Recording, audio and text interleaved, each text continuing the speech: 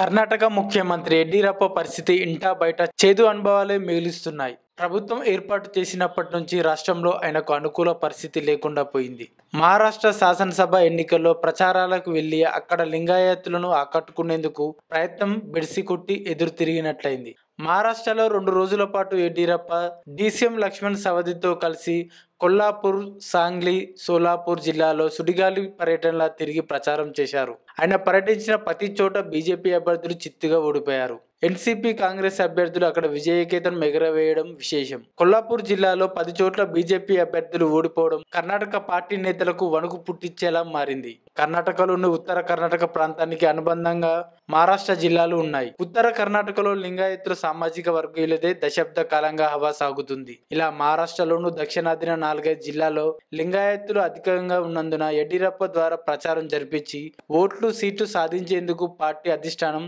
వేసిన ఎత్తుగడ దారి తప్పింది. సీఎం యడ్యూరప్ప కృష్ణానదికి అనుబంధంగా బగల్కోట్ జిల్లాలోని ఆల్మట్టి నుంచి మహారాష్ట్ర పరిధిలోని నలభై ఎనిమిది గ్రామాలకు నీరు ఇస్తామనే హామీ ఇచ్చిన మరాఠీలు కనికరం చూపలేదు. ఇక సీఎంతో సంబంధం లేకుండానే డీసీఎం లక్ష్మణ్ ప్రచారం చేసిన ప్రాంతాల్లోనూ బీజేపీ ఓటమి పాలైంది. కర్ణాటకలో సంకీర్ణ ప్రభుత్వాన్ని కూల్చడంలో కీలక సూత్రధారైన రమేష్ అల్లుడు అప్పి పాటిల్ ఇండిపెండెంట్గా పోటీ చేసి ఓడిపోయారు. బీజేపీలో టికెట్ కోసం ప్రయత్నించిన రమేష్ ప్రయత్నాలు విఫలం కాగా ఎన్నికల్లో గెలిపించలేకపోయారు. ఉత్తర కర్ణాటక వరద బాధితులకు కేంద్ర రాష్ట్రంలోని బీజేపీ ప్రభుత్వాలు సహకరించలేదని సరిహద్దు జిల్లాల్లో పెను ప్రభావం చూపిందన్న వాదన కూడా వినిపిస్తుంది.